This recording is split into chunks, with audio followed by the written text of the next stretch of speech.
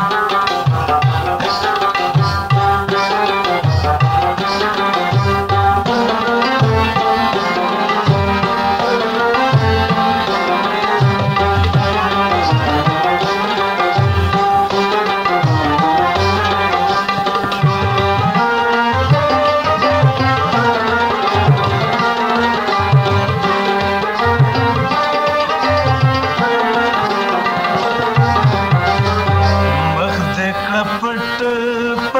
کا